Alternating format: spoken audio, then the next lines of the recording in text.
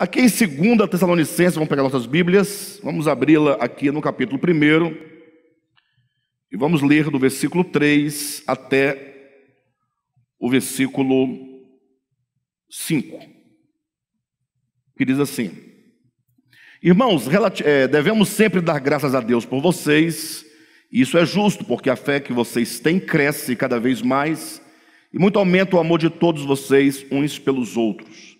Por esta causa nos gloriamos em vocês, entre as igrejas de Deus, pela perseverança e fé demonstrada por vocês em todas as perseguições e tribulações que estão suportando. Elas dão prova do justo juízo de Deus e mostram o seu desejo que vocês sejam considerados dignos de seu reino, pelo qual vocês também estão sofrendo.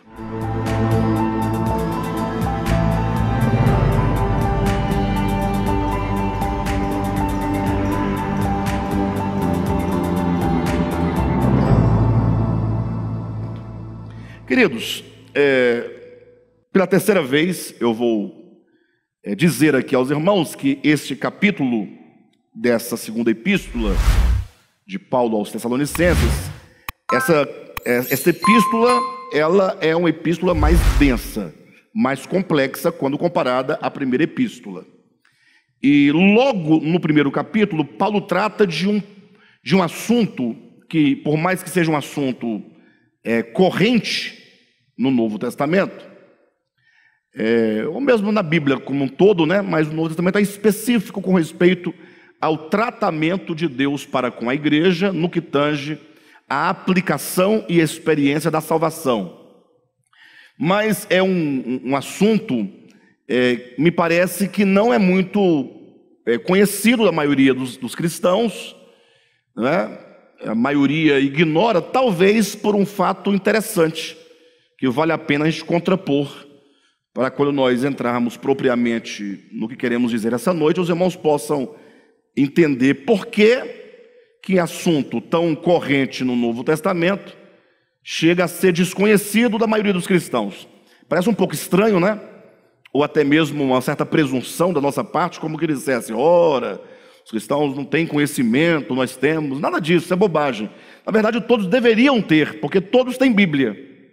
E todos supostamente leem a Bíblia ou devem ler a Bíblia.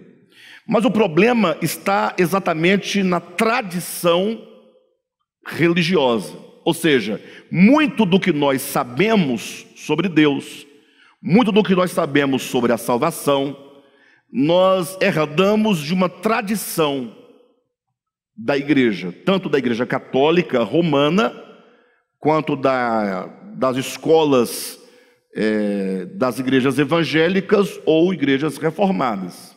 Então, assim, nós temos muito conhecimento intuitivo. Nós ouvimos muitas pregações ao longo da nossa experiência cristã, nos diversos lugares por onde nós passamos, ouvimos muitos ensinamentos e vamos acumulando esse, esse conhecimento, na maioria das vezes sem um exame apurado da Bíblia. A gente acredita nos nossos líderes, né? A gente acredita, nós depositamos uma certa confiança. E daí nós vamos é, desenvolvendo um conhecimento não verificado, que é o dogma, e acabamos por ter também, no geral, um conhecimento intuitivo. E dentre essa tradição religiosa existe um aspecto que, na maioria das vezes, é negligenciado.